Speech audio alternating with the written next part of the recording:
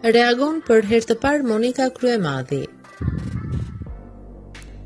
Qeveria shprehet se pas protestave të dhunshme pas vrasjes së të riut Klodian Rasha nga efektivi i policisë qëndron opozita. Kryetarja e LSI-s Monika Kryemadhi e ka mohuar kategorikisht dhe shprehet se do të ishte nder nëse do të ishte organizatore e një proteste aq të sinqertë. Do të ishte nder për mua të isha organizatore e një proteste aq të sinqertë. Por sigurisht kompleksi dhe vetëpërmbajtja ka bërë që me shpirt dhe zemër të ishim pjesë aty. Edhe po të kishim qenë, mund të mos kishte ndodhur ajo dhunë ndaj të rinjve.